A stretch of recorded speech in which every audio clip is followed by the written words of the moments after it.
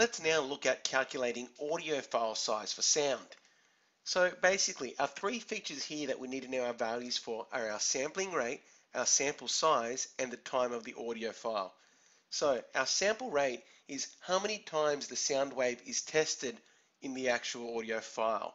So for a CD file, basically the sound wave would be tested 44,100 times. So that's known as 44,100 samples. The sample size or the bit resolution is the equivalent of the bit depth with an image file. Basically, this time instead of colors, it's sounds. And so it's how many types of sounds are available for the audio track. And the common standards are 8-bit or 16-bit. And the final value we need to know is time. And time makes complete sense. It's just basically how long the file will go for. So in order to find out mono sound, it is basically the sample rate times the sample size times time. Easy, okay, because it's being sent down one channel.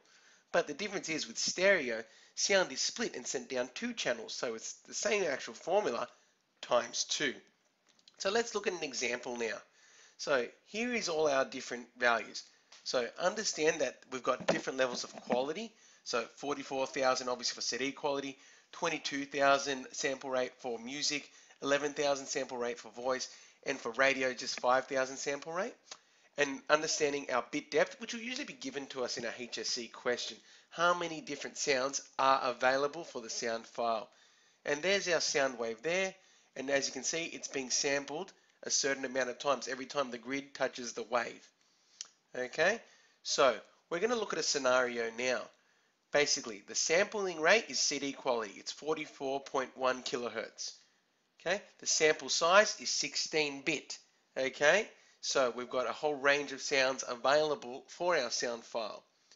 The duration of the file is going to be for 16 seconds and it's going to be stereo output, meaning it goes down two channels.